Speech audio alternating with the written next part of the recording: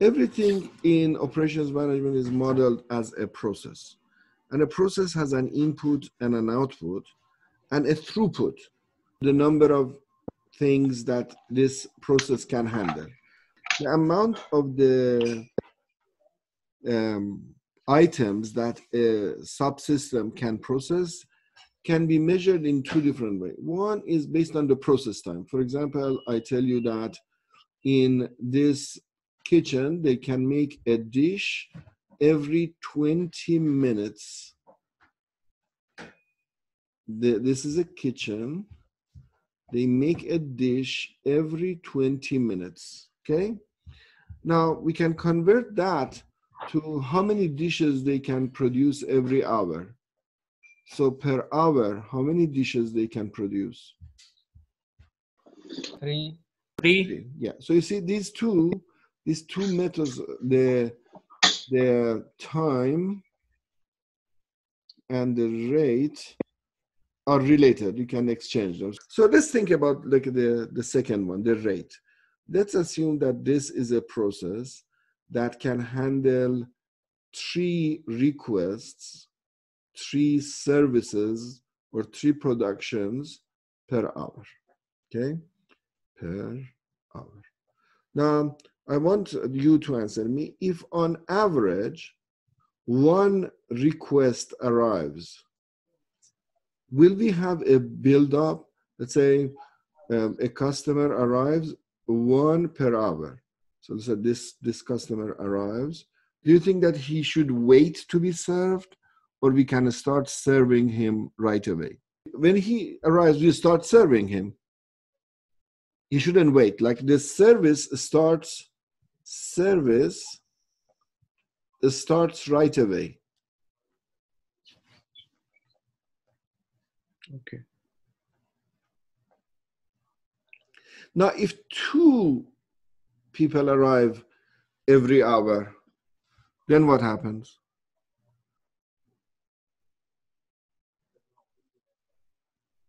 So we can serve easily. So Yeah, we can serve them easily. So we don't think that there, there would be a build-up.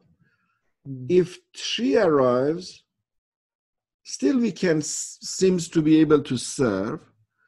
But if four people arrive every hour, then it is obvious that there would be a problem. yeah.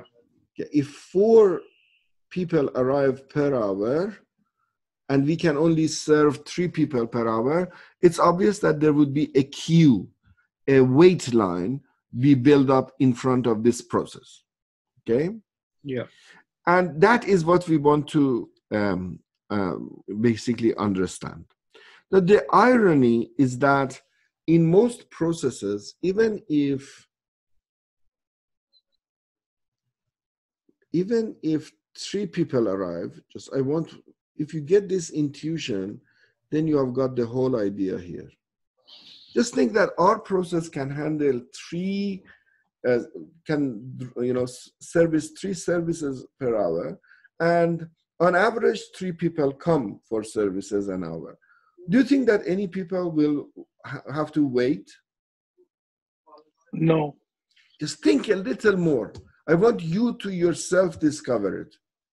Okay so let's say the first person arrives at 9 o'clock 9 a.m if the second person arrives at 9.20 we can serve him right away and if the next person arrives at 9.40 we can serve that person right away so none of them have to wait Yeah. if they arrive at this specific timing but will they arrive at that specific timing No. No. Okay. So because they don't arrive, because their arrival is random, because the arrival is random, you know, they are not timing each other saying that, oh, you go in, then 20 minutes after you, I will come in. They they choose their coming in random, and on average, they come three per hour. So even though our capacity is three services per hour, and people are coming with a rate of three people per hour, still some of them have to wait, probably long wait times. Good? Yes, sir. Yeah. So it turns out that, uh, okay, let's continue the PowerPoint now. So now that you got the question, uh, let's go to the topic. So in front of shopper, supermarkets, in front of doctors' offices, in front of banks, wherever you go, you will see that a line uh, is built up. And the reason that it is built up is that, you know, even if you have your capacity equal to the uh, arrival rate of people, still these queues will build up because people have the, like the arrival of people is a random phenomenon. Uh, so if you want to be more precise, people arrive with a distribution. So you cannot say that people arrive every 20 minutes. People arrive with a probability distribution. And our services also is not a constant. Like sometimes our service may take, uh, you know, um, different, uh, you know, some of the dishes may be served very fast and some of them.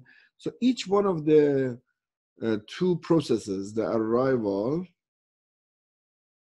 and our process, can have different probability distributions. They are not constants. The world is not like a, a predetermined.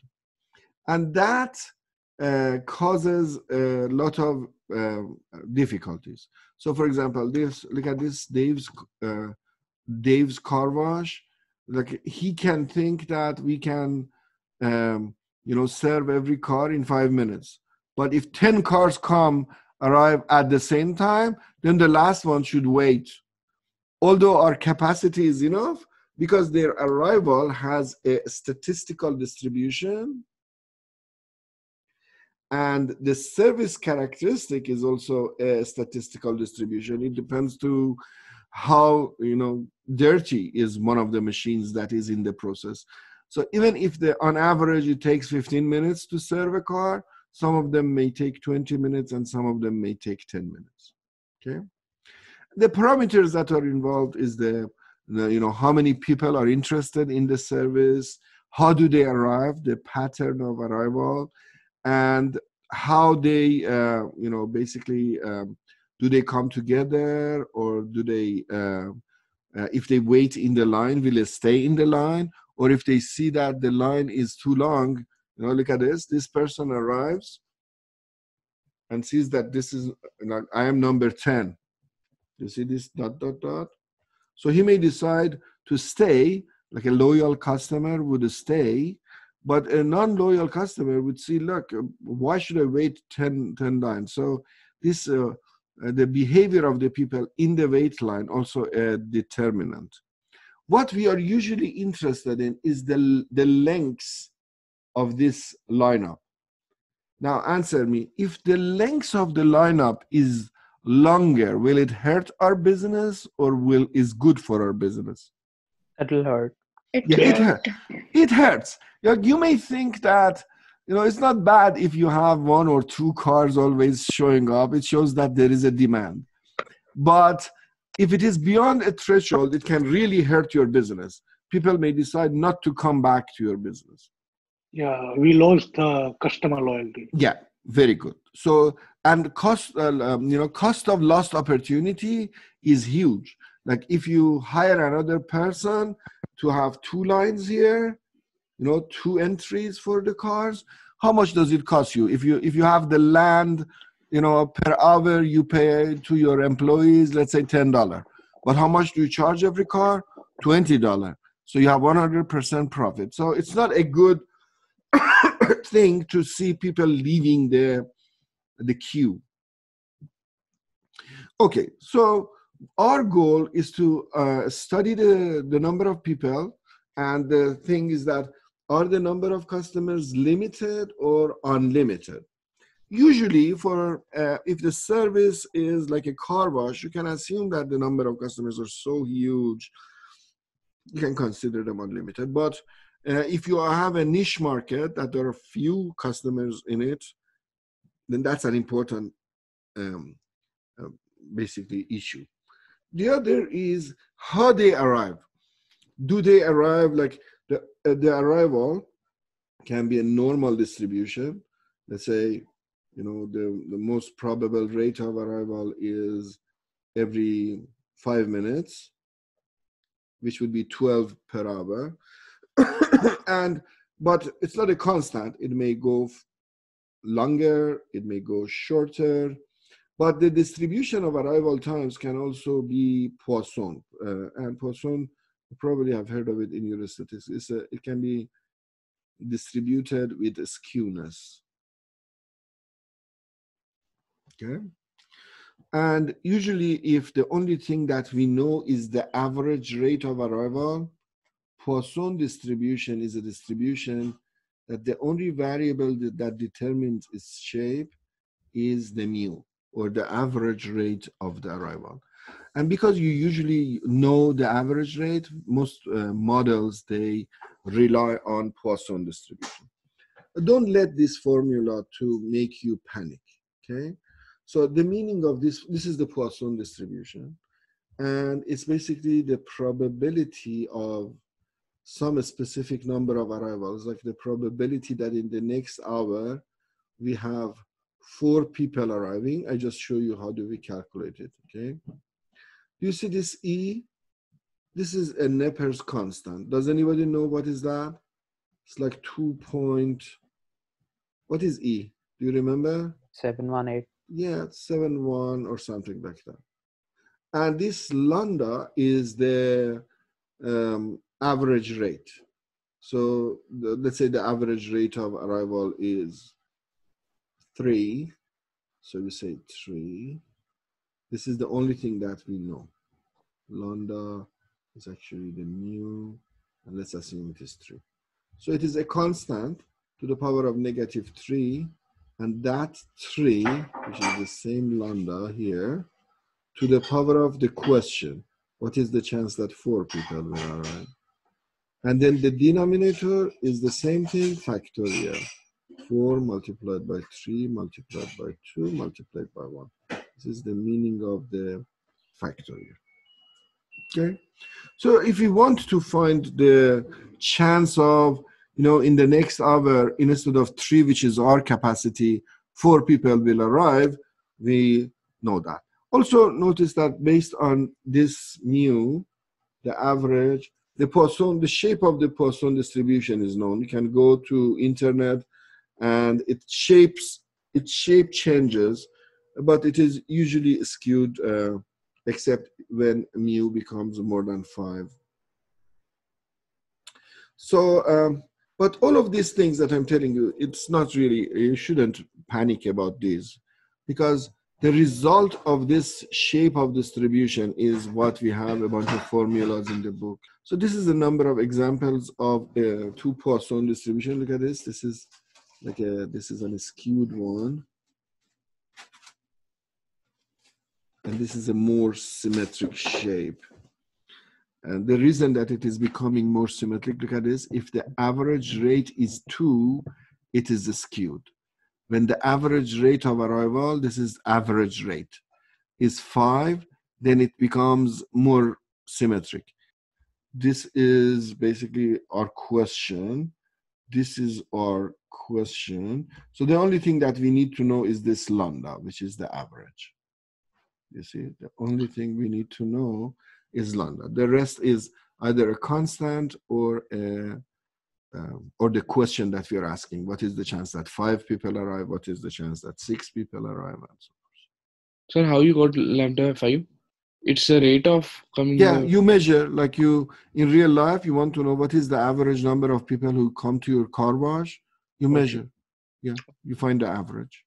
Okay, and once you find the average, then 2.7 to the power of negative average, average to the power of, let's say you want to know what is the chance that next hour seven people arrive.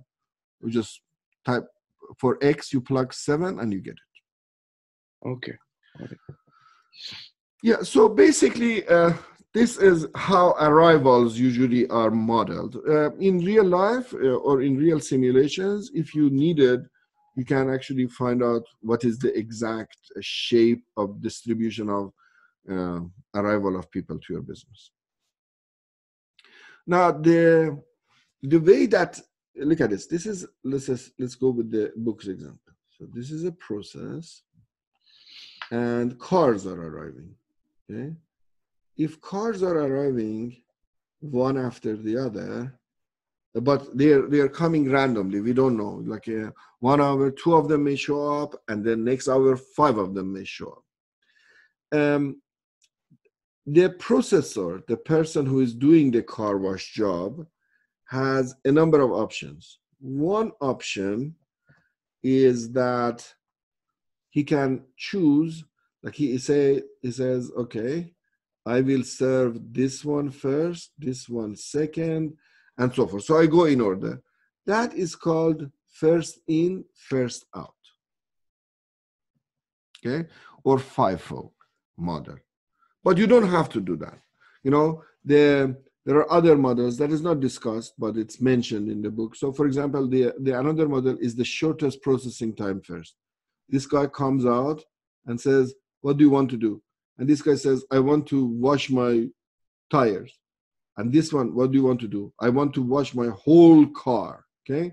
So, and the next one here says that I just want to clean inside the car. Okay. So you may decide that I will do this one first, this one second, and this one the, that has the longest work, I will do it at the end.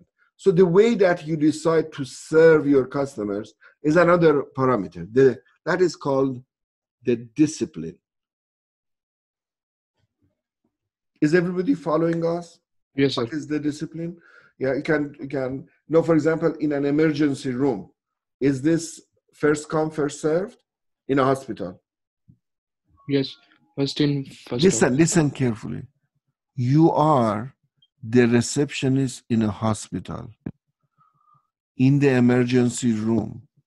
Do you serve the first person who arrives first and the second person second? No. Or you No, sir. check if you see that the fourth person is dying, you will serve him first. Yes, sir. Yes, sir. So I repeat my question. Just I want to, you know, wake you up. In a hospital, is it first in, first out? No. No. No. Yeah. No. But in a let's say in a car wash, maybe it is. In a gas station mm, that has one pump, then it is first in, first out. Um, in a wait line in a bank, maybe it's first in, first out. But uh, it depends. Uh, in a hospital, it is not first in, first out. And uh, for example, in a gas station that has multiple pumps, it is um, not a single channel, it is a multi-channel. So some, so this is a gas station with multiple pumps. So usually gas stations are a multiple channel system. Usually a bank is, when you go to a bank, how many people are serving the arrivals? So when you go to a bank, just let's you- model the bank.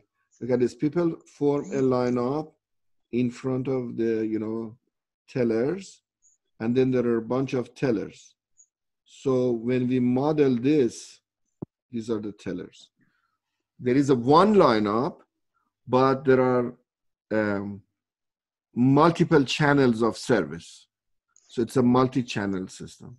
Okay, and uh, there are single phase and multi-phase systems. So a single phase system is this. Okay, let me show you an example of a. Uh, maybe I ask you, if you go to your family physician, how many doctors will see you? One. Okay, so let's let us write it. So first one is family doctor. Who is going to serve you? Your family doctor. Okay. Now, if you go to the hospital, will one doctor see you? No. Yeah, it depends. So when you go to the to the hospital, first the emergency doctor sees you, and now they see that you're, you know, basically you're, I don't know, somewhere is broken, your leg is broken. Then they will send you to another doctor who is the specialist for that job. So now this is a multi-phase. There is one line, you you go through one process, but there are multiple people who have to do things for you. So that's called a multi-phase system. So your family doctor is a single phase system, while a hospital is a multi-phase system. A gas station is a multi-channel system. Your f- family physician is single channel or multi-channel? Single. Single channel. Single, yeah, because that's the family, and all of the people who want to see that family doctor, they have to wait. And sir, um, bank will be the multi-channel. Multi-channel like a gas station, like the bank. Look at this. This is the bank. This is teller one. This is teller two. These are employees of the bank. You know, you arrive, you may go to this person. This guy is serving you. Then the next person, this guy is serving them. So there are two channels of service. Okay. Okay. And the other thing is so this um, this one. So I point to it. You tell me uh, one channel or two channel. This one, One Single channel. single channel. One channel. Yeah, one channel. Uh, single phase or multi phase. Single phase. Single Yeah. Very good. This one. How many channels? One. Two. Multi-channel. How many channels? One channel. One. How many phases? Two. Two phase. Very good. This one. How many channels? Three. Three. Very good. And let's say you are this guy. You go to this channel. How many phases do your uh, is your service?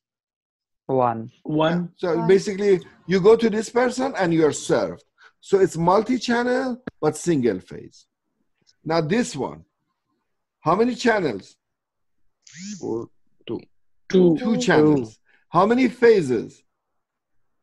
Two phases. Yeah. So look at this. Like this is like an hos- a hospital that has two emergency doctors. The first patient goes to this doctor. The second patient goes to this doctor. Now the emergency doctor decides that this guy has a cancer, for example. So this guy will go to the next phase to a specialist. And this doctor decides that this person has a broken leg. So we'll send it to another specialist. So each person will go to how many phases Two. Two. and how many channels exist? Two. Yeah. So basically, you understood this ideas. Now, the, the the the service itself has also its own distribution. So look at this. The let me erase this part.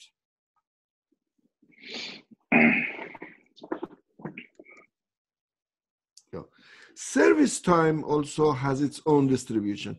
People arrive with a Poisson distribution. So this is the way that people arrive.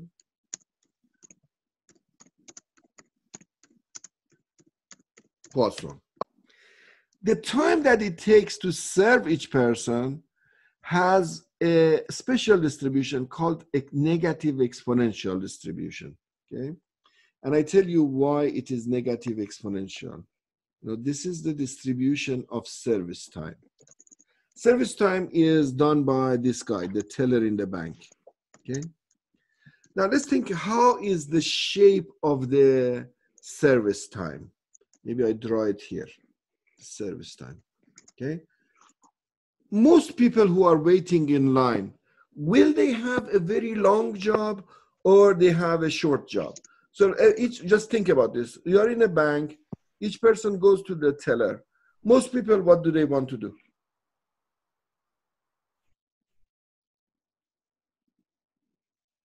Mm, withdraw money or uh, Yeah, They money? go to the yeah, very good. So they go to the teller and say, I want one hundred dollar.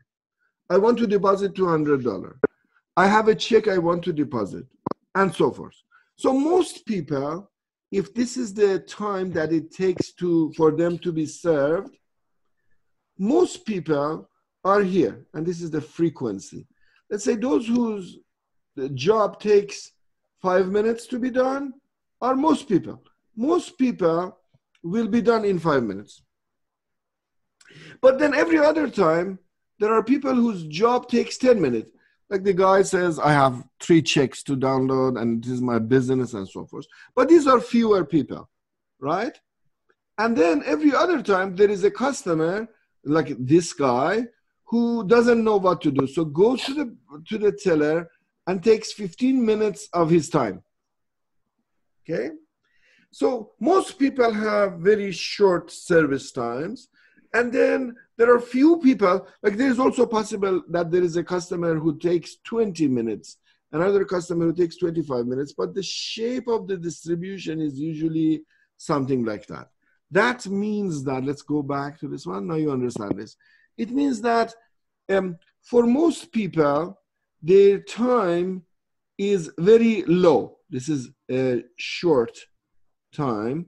So it takes very short time, but for most people, the frequency of this kind of people is a lot.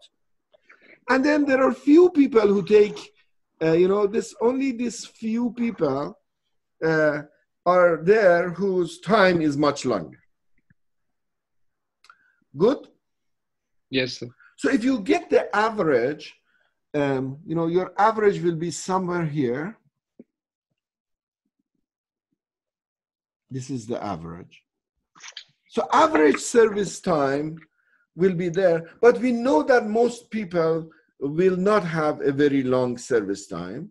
And the reason that the average is here is that because these people who are, you know, this guy takes two hours to be served, this rarely happen, but it changes the average. Okay, so if you go to a bank, you are probably you are served within five minutes. But if you are unlucky and then there is a customer in front of you, one of those two-hour customers, that will increase the waiting time. So in a bank, so let's think about uh, like how do we summarize this? In a bank, if this is a bank, the arrival of people, what is the distribution of the arrival of the people? We usually consider the distribution of arrival with a distribution that is Poisson distribution. I just show it to you. It's a, it has a shape like this. But the service time that it takes for those people to serve has a distribution that is like this. For most people, it takes little time. But for some few people, it takes a lot of time. So this is the distribution of service. This is the distribution of arrival. Is everybody following me? Yeah. Most services are short, few minutes. Few services take two hours. Most services take half an hour. Okay. Okay. Okay. So I, I just point to a symbol and you tell me, is it given to you or you calculate it? How do you find it? Number of arrivals. This. How do you find this? So it will be given. Yeah, you either, if you are the business owner, you measure the average number of arrivals. Mean means average. Mean is a synonym for average. So you find the average number of arrivals based on your data. And this is the arrivals follow what kind of distribution? Poison. Poisson. Song. Not poison, poisson means fish. Okay? Okay. And then uh, mu is the average number of people who are served. Okay, average number of people who are served. Mean number of people or items served per time. That follows, you know, most of the time many people are served, but then sometimes few people are served. So that follows a negative exponential. You will never be asked to calculate the, the negative exponential formulas, but just to know. Then the questions that we may want. We want to know the average, we want to know the average number of customers that are in the system. What does that mean? This is our system. On average, three people are waiting in the line and two people are being served inside the car wash. So we want to know what is the total number of people who are on average in the system. We use this formula. Why? You don't have to know it. Good? So, yes, I give you all of this information about the arrival is Poisson and the distribution of the service time. So these people arrive with a Poisson distribution and these service times have a negative exponential distribution, but it doesn't matter. You have to use this formula. When these conditions, when these two conditions are satisfied, the result is that the number of people who are waiting in the system comes from this formula. The average number of units, um, the average time that units spent in the system will come from this formula. The average number of units waiting in the queue like how much time it takes for these people waiting in the queue comes from this formula. Average time a unit spends waiting in the queue. So this is number of people. This is the time that is spent in the queue. Okay. Okay. And then utilization factor, like what percentage of your capacity is being used, comes from this formula. So the only thing that you have to do, and then probability of nobody being in the system, like basically your your time being wasted, um, comes from this formula, and probability of more than five people coming being in the system comes from this formula. So enumerating these formulas is not really helping you. Let me tell you what helps you. You read a question the first thing that you have to identify is what type of process it is. And so the type of, what are the possible types of processes? Okay, so listen, this part is helps you for your homework. Listen carefully.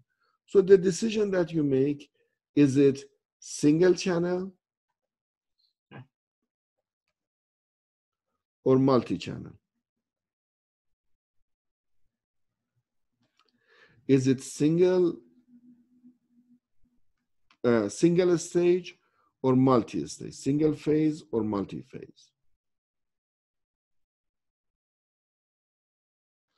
Is the distribution of arrival Poisson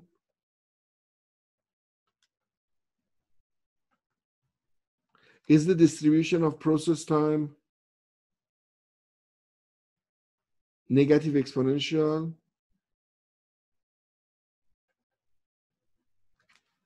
These are the questions that you ask.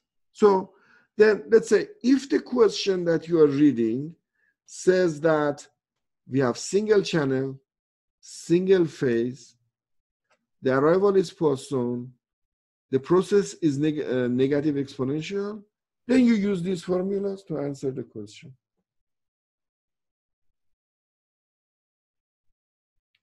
So don't go to, you don't need to go to these formulas to answer you know you don't need to go to the exponential formula and you know panic yourself that oh poisson formula is e to the power of blah.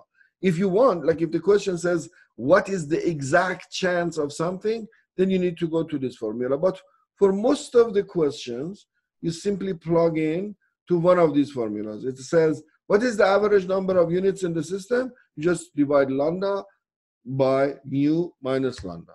So um, this chapter is probably the easiest chapter that you have. So look at this. Two cars arriving per hour, three cars are serviced per hour. Okay. Can we tell how many cars in the system are, are in the system on average? Cars in the system on average. Yeah. We get this formula. Two divided by three minus two. But can we use this always? No we can use this formula if the arrival is Poisson, sorry, Poisson is not like that. Poisson is P-O-I. Yeah, the arrival is Poisson and the service time is negative exponential and somebody must have studied that and they, it is you are told so don't you are never responsible to prove that it is Poisson and negative exponential. The question says the arrival is Poisson the service is negative exponential your job is to use the averages the average arrival time and average service time and you will find the number of cars that are on average in the system. You will find how many cars are waiting on average. You will find um, what is the average waiting time. You will find Uh, uh, like what is the percentage utilization? So or percentage of time that the mechanic is busy is the utilization